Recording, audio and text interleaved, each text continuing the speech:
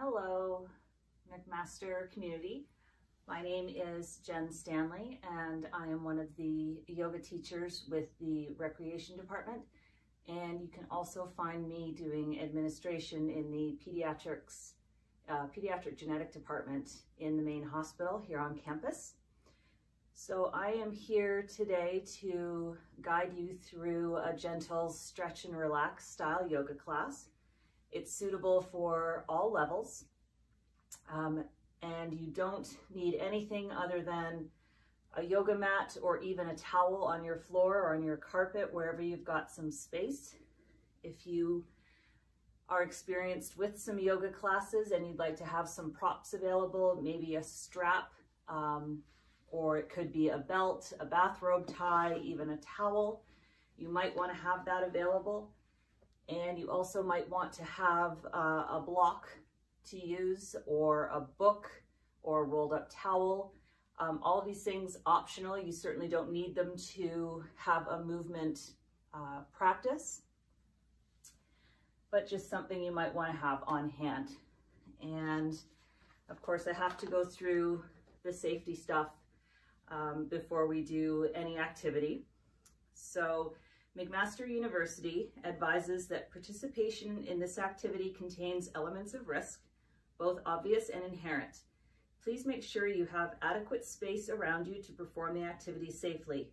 Be aware of your surroundings, possible hazards, for example, lights, tables, or sharp corners, and other people or pets who may be in your space as you participate in the activity.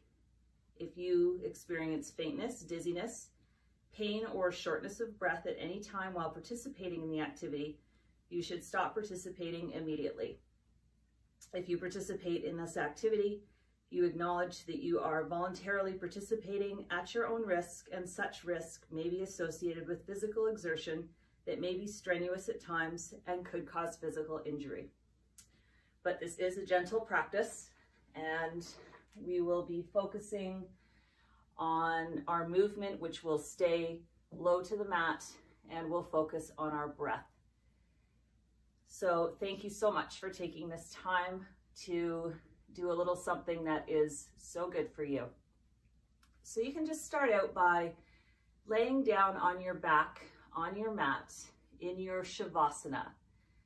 And you can let your legs be long and take your feet wide apart, maybe out to the corners of your mat. You can take your arms wide out to your sides or maybe bring your palms to your belly, whatever feels comfortable for you. And just keeping in mind, my job here is as a guide. So as we move through the various poses, I'll offer modifications but you know your body best. So if you need to make any kind of adjustment to make the pose feel better or work better for you, you are more than welcome to do whatever you need to make this practice your own. And that includes backing out of a pose early. You could skip a pose entirely if you know it's not the right thing for you today. And if you need to take a rest or take a drink, please do whatever you need to do. Listen to your body. We don't force anything and just enjoy yourself.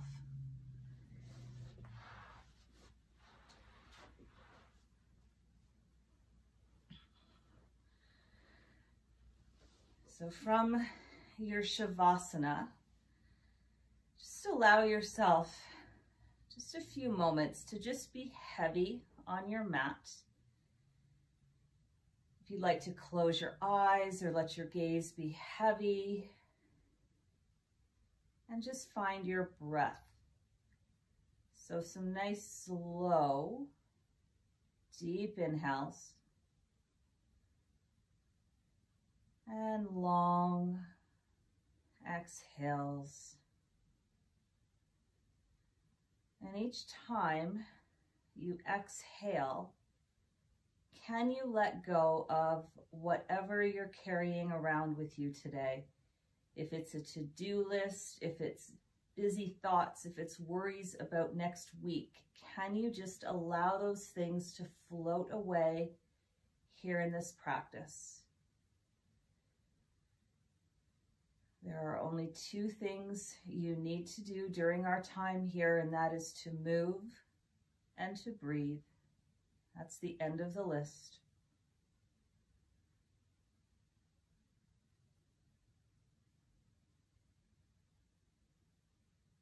And if you'd like to continue on from here, I'll invite you to bring your legs together long on your mat. Bring your arms up overhead in the number 11. Take a nice deep breath and come to a full body stretch. So from the tips of your fingers to the tips of your toes. And exhale, let that go. One more time. Nice big breath. Make yourself long, long, long. And exhale, let that go. Bend your knees, soles of the feet to the mat. And then draw your knees in towards your chest or maybe a little closer to your shoulders, palms to your knees. And give yourself a little rock side to side.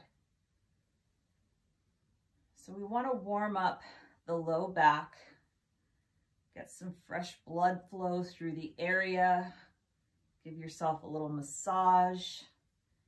Because no matter what we do in our day, whether you've been sitting at a computer a lot or if you've been standing on your feet or doing lots of running around, the low back is involved in pretty much everything and it doesn't get a whole lot of attention and care. So let's give it a moment. Just a few more times, side to side, just gently. Just to prepare the back for some movement. We'll keep the right knee tucked in. Extend your left leg long. Left heel to the mat. Flex the left toes. And draw some circles with your right knee. So a few times one way.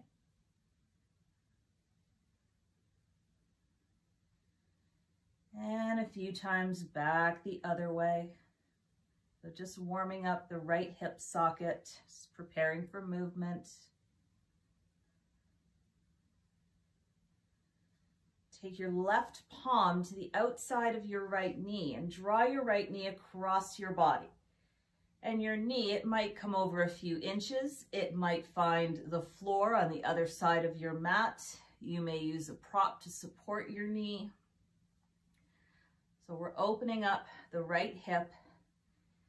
Right arm extends out long as a counterbalance, and you can keep your gaze to the ceiling or take it over your right shoulder if your neck is okay with that. And if I happen to mess up my left side and right side, or you mess up your left side, right side, we'll be doing each pose on both sides. So as long as you're doing once on the left, once on the right, we're all going to be just fine at the end.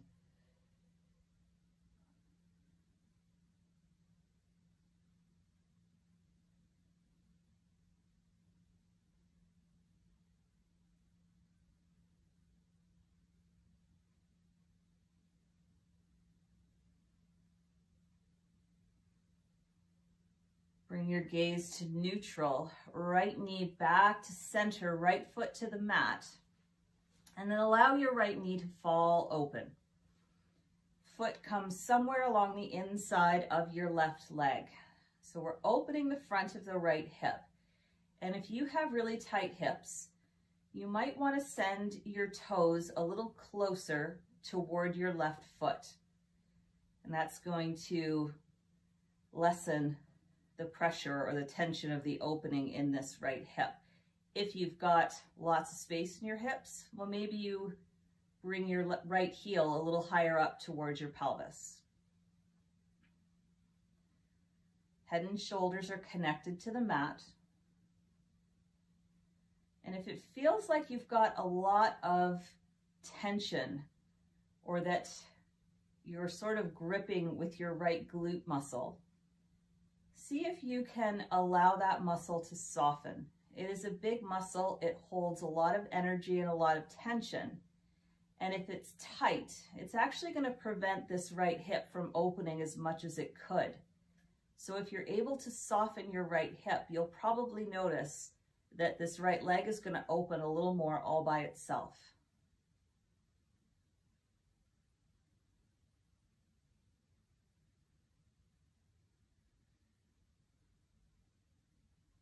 We'll close the right knee back to center. Bring the left knee in to meet it. And then both knees in toward the chest or the shoulders again. Give yourself another rock side to side, or you could draw some big loopy circles with your hips. Just a little more tension for the low back.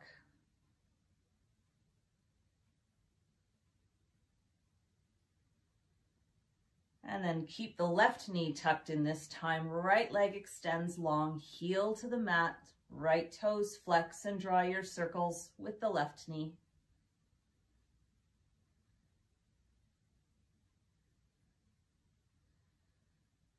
And a few times the other way.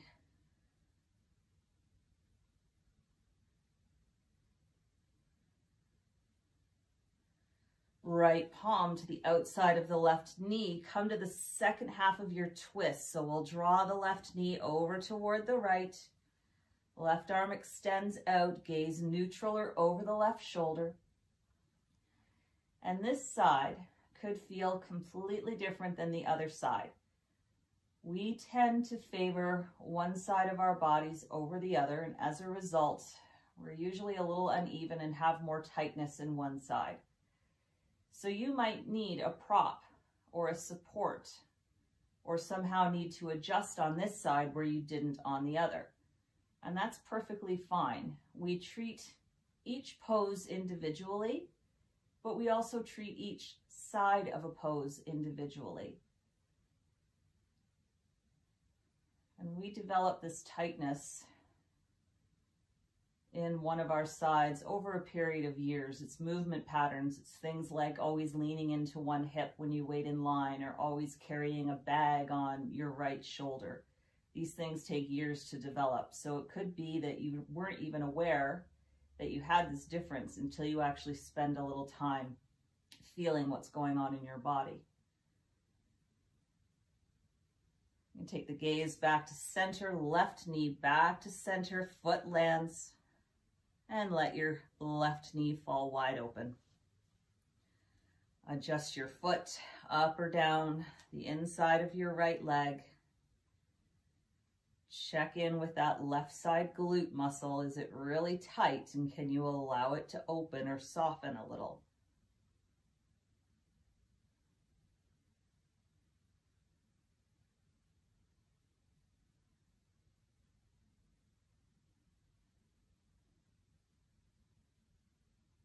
We're focusing a lot on hips and also shoulders in this practice because we are spending time learning from home, working from home, so much time spent on laptops or tablets, phones, sitting there trying to get work done. And that's not great for the hips. It's not great for the shoulders either. So hopefully this will give you some movement that you can do in between your classes or during your day, just to help keep some movement going, keep your muscles strong, open up your joints. Close your left knee back, bend your right knee to meet. Send the sole of your right foot up to the ceiling. Turn your toes to about two o'clock, right ankle to the top of the left knee, and press your right knee away from you. So this is thread the needle, and you should feel an opening in your right hip. And if this feels good, you can stay right here. If you'd like to add on, try lifting your left foot off the mat Send your right hand through that space between your legs and take a hold of the back of your left thigh. Draw your left leg in towards your chest. Right toes flex toward the right knee.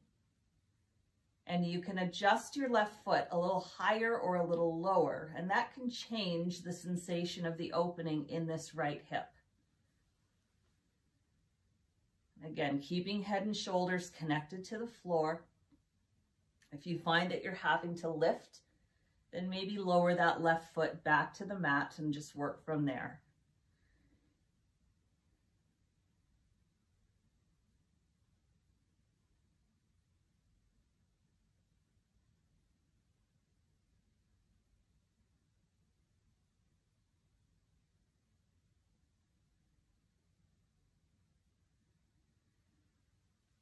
Release your left foot to the floor. Hang on to this figure four shape with your legs. Slide your right thigh over your left and allow your legs to fall left. So another twist. And if having your right thigh over your left feels like a little too much, just unwind your legs and bring them side by side and allow them to fall left. Eyes to the ceiling, or over the right shoulder and you can let your arms fall wherever feels good. So maybe out to the sides or you could take left palm to right thigh, arms overhead, whatever feels good here.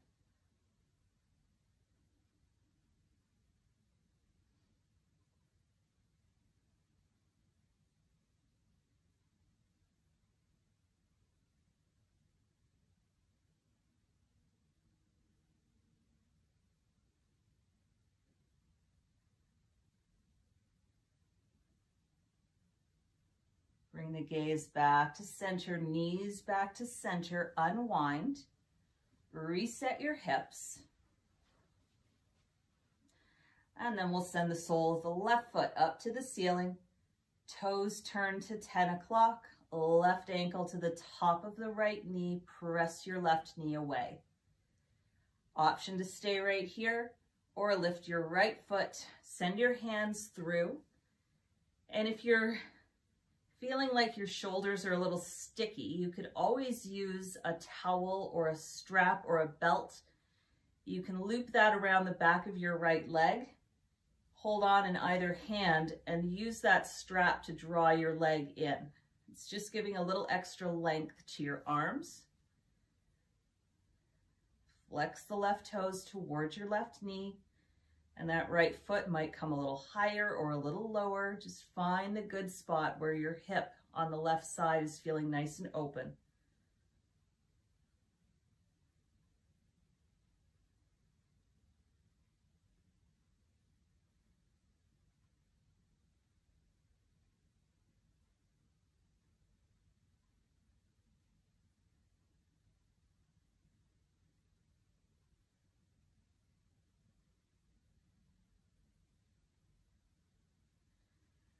Right foot finds the mat. Slide the left thigh over the right. Allow your legs to fall right. Option to send your gaze to the left and you can repeat your arms or you can try something different on this side.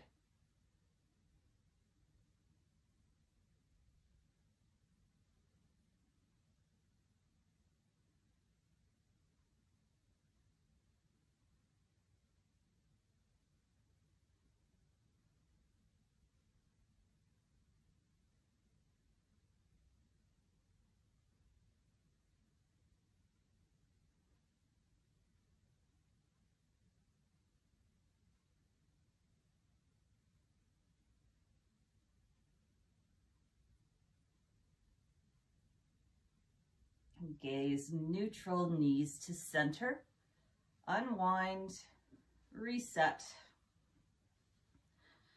And if you want to bring your knees in one more time, give yourself one more little rock or draw some big loopy circles with the hips.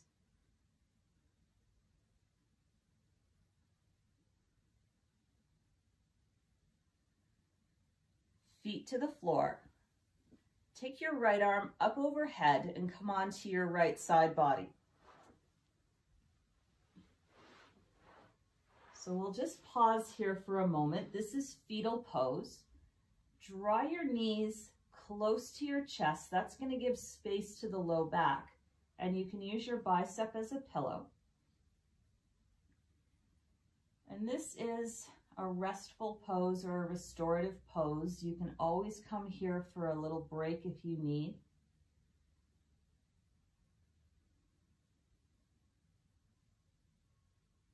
And now that your back has been released from the mat, just notice when you inhale, your back taking up a little more space. So maybe your shoulder blades come a little wider apart. Maybe you feel extra length in your spine.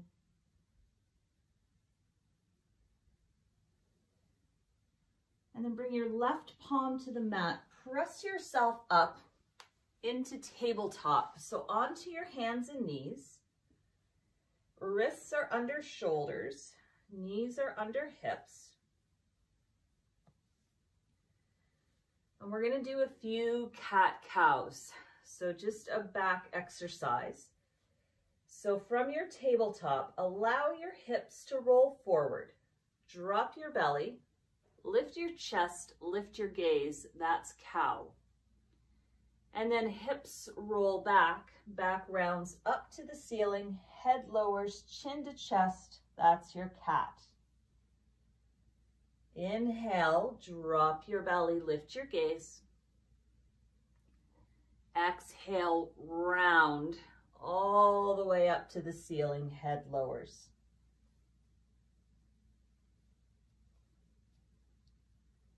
So just come through a few rotations here on your own breath at your own pace. And it should almost seem like you can feel each individual vertebra move in a wave as you roll your belly down and up.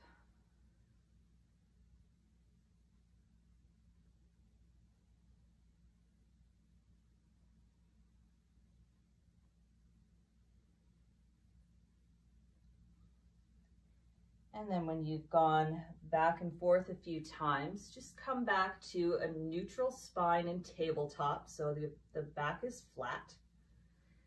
We'll take the right shoulder toward the right hip and let your gaze come behind to look at your right foot or maybe the wall behind you. So we're lengthening out of the left hip, up the left side body. And when you inhale, you're going to feel these left side ribs open up and the spaces in between, the intercostal muscles. We don't do a whole lot to lengthen our side body. So the oblique muscles around our waist and then the intercostal muscles, our rib cage, we don't do a whole lot to activate those areas in a day. So really take advantage and when you inhale, feel that whole left side body take up space.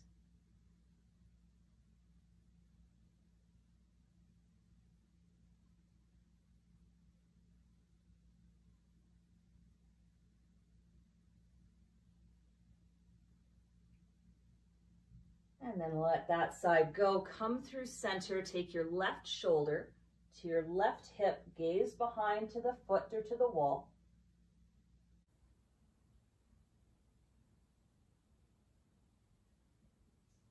And if you are not in the best relationship with your knees or with your wrists, if you have a towel you could fold or a blanket, or you could fold your mat in half, just to give a little extra cushioning to your knees or to your wrists if you need it.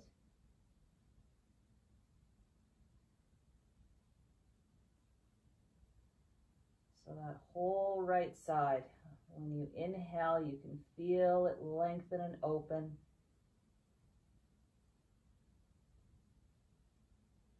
And then come through center and we'll take it to the right one more time. So right shoulder to right hip. And you might be able to get your shoulder a little closer to your hip now that your body's starting to warm up.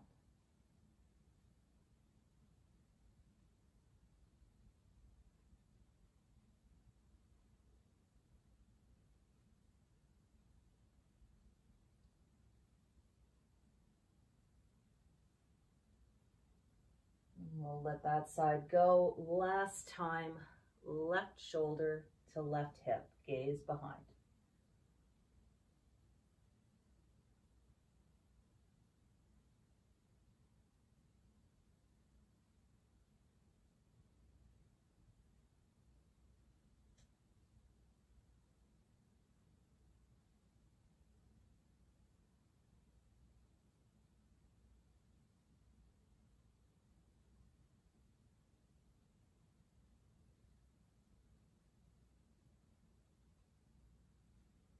And then back to center.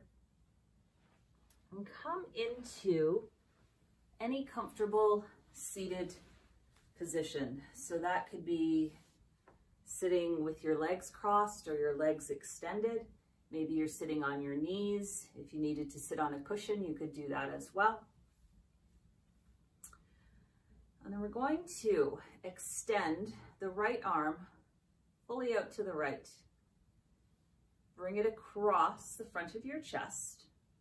Use your left forearm to hook the right forearm and draw everything into the front of your left shoulder. So I'm going to turn to the side and do that again.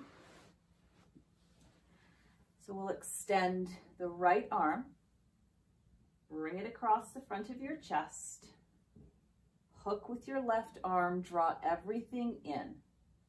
So we are opening the back of the right shoulder, the shoulder blade area.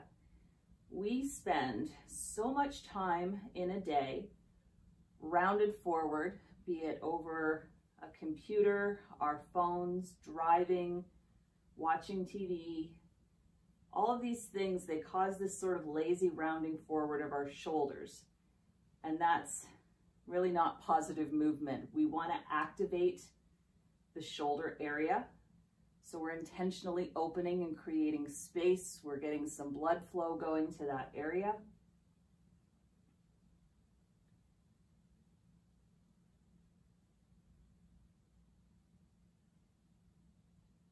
And then release your right arm and second side. So extend your left arm out Bring it across the front of your chest. Use your right forearm to hook and draw everything in toward the front of your right shoulder. So we are opening the back of the left shoulder this time. And if you're kind of rounding or slouching here, can you give yourself a nice tall spine, almost as if someone was pulling a string from the top of your head?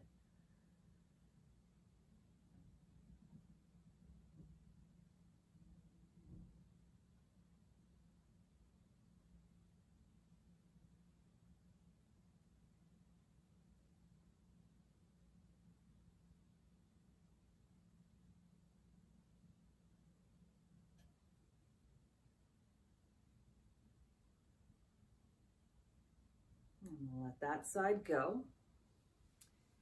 And bring your hands behind your back. And again, I'm gonna spin around. And you can either intertwine your fingers or you could bring your palms to where your jean pockets would be. Or if you have a strap or a towel, if you want to use that, you can take your hands to whatever distance apart feels good. We're going to draw the elbows together and that's going to start to open the front of the chest. And you can gently lift your gaze almost to where it would be if you were going to hold a grapefruit between your chin and your chest. So not a really big lift of the chin.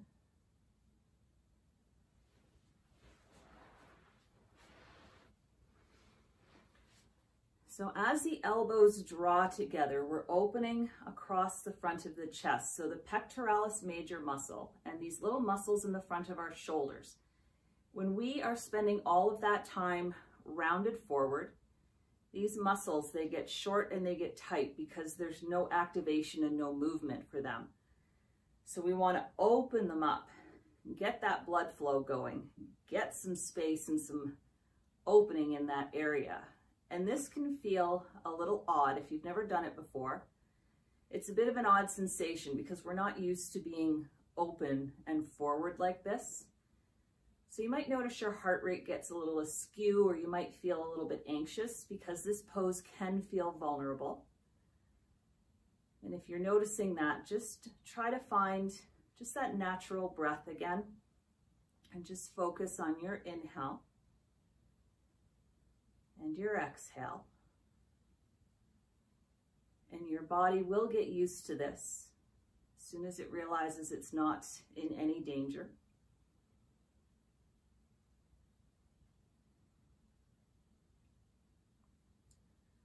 And you can release your hands, bring them in front of you, intertwine your fingers and send the tops of your hands forward. So where we were just opening across the front of the chest, now we want to open across the upper back. So the shoulder blades are opening away from each other as we press the hands forward. And when you inhale, see if you can feel your back just opening up, taking up a little more space. Our lungs are actually a little more than 50% located in the back body. So feel those ribs expand. Maybe your spine is lengthening.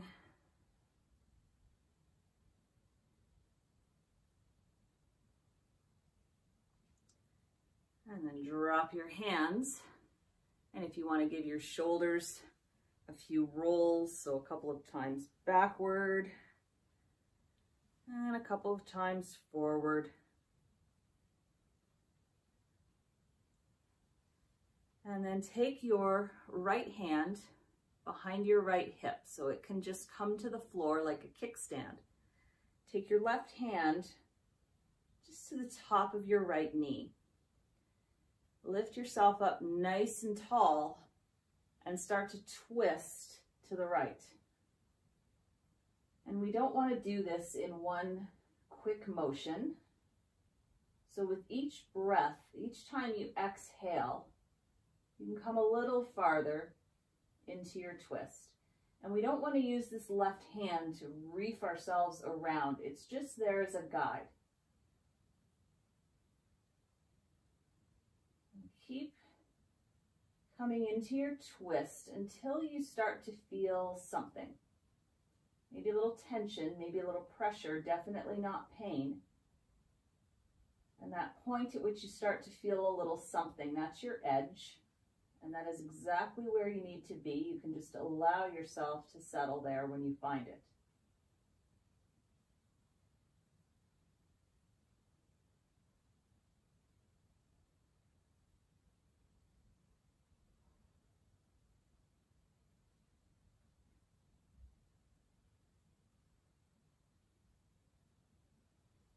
Let that go, come back to center. And then left hand behind the kick, the hip like a kickstand. Right hand to the left knee, nice and tall out of your waist. And come toward the left. So each exhale, a little farther into your twist.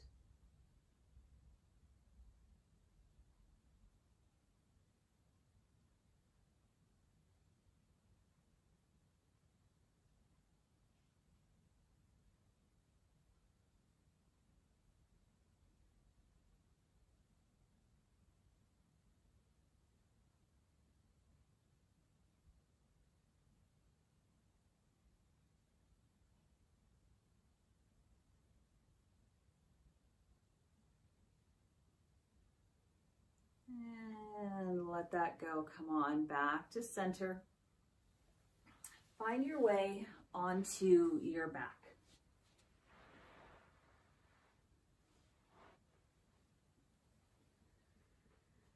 And when you get there, bend the knees, soles of the feet to the floor. When you inhale, lift your knees over your hips. Shins are parallel to your mat and allow your legs to fall together left. Your gaze can stay neutral or over the right shoulder. And your arms are gonna land wherever you need them to be, whatever feels comfortable. So you could take left palm to right thigh, you could take your hands over your head. Just one last twist for this practice.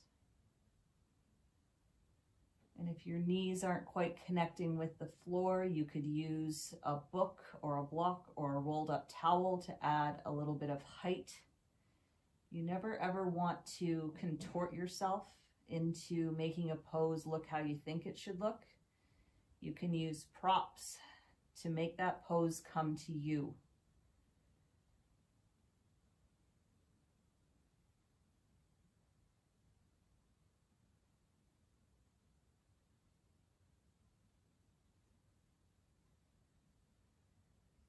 Take your gaze to center, bring your knees back to center, reset your hips.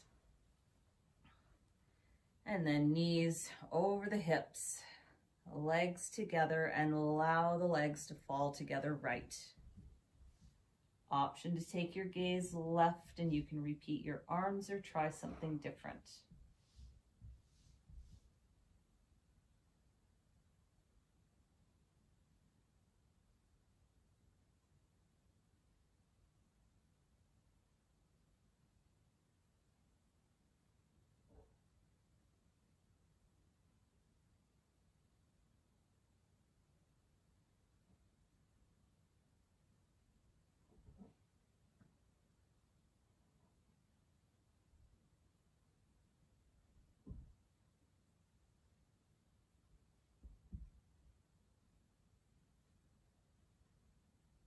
Gaze to center, knees back to center.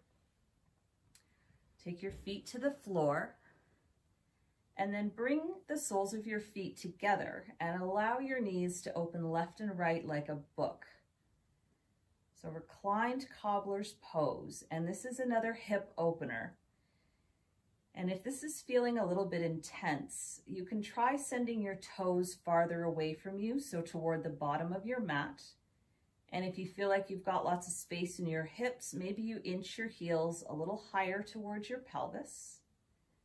You can let your palms rest on your belly or out to the sides.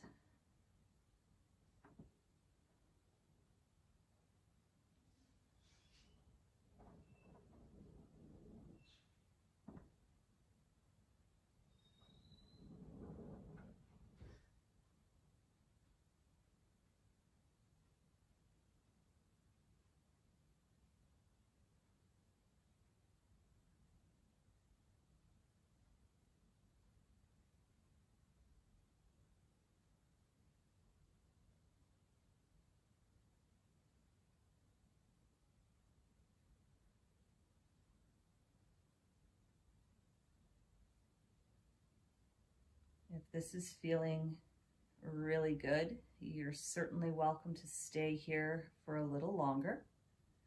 Otherwise, close up your knees back towards center and then bring your feet six or so inches apart and just give your knees a gentle sway side to side just to release your hips and low back.